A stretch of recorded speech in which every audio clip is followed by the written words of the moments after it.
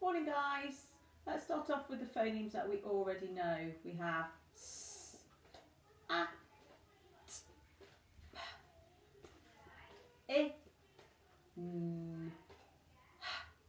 And today's sound is oh. Oh.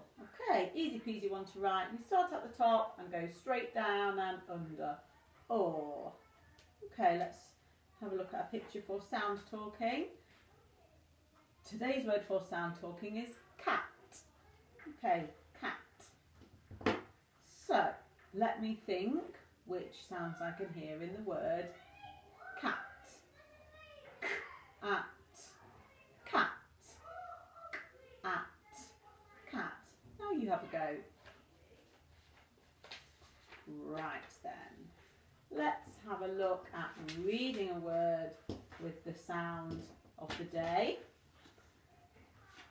Here is the word. Remember, we're going to point at the sound buttons and then swipe. So my turn first.